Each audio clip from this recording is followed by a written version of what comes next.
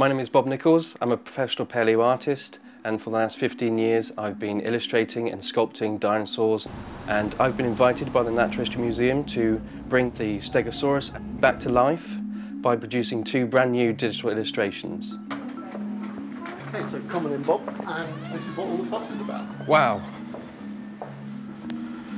So something very special about Stegosaurus are the plates along the back. They look much thinner than I'd expected them to be. My first impression is the same as yours. These things are really thin. They're really uh, only a couple of millimetres thick in some places.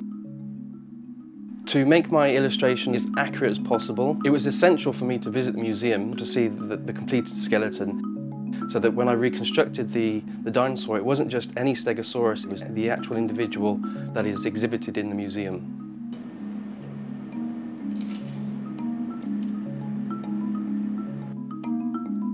When I was at the museum, I took several hundred photographs, and some of them were trying to find the right angle to illustrate the Stegosaurus.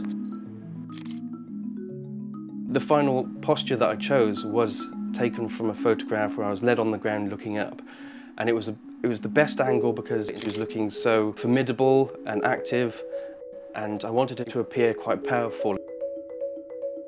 The Stegosaurus is using its amazing spiked tail to fend off a meat-eating dinosaur called Ceratosaurus. The thing I love most about my work is bringing to life animals that you can't see in the wild. You can go on holiday and see elephants and rhinos and other amazing animals, but you can't see a stegosaurus in the wild. So that's what I love, is, is taking these extinct creatures and bringing them to life. Probably one of the most accurate reconstructions of Stegosaurus ever.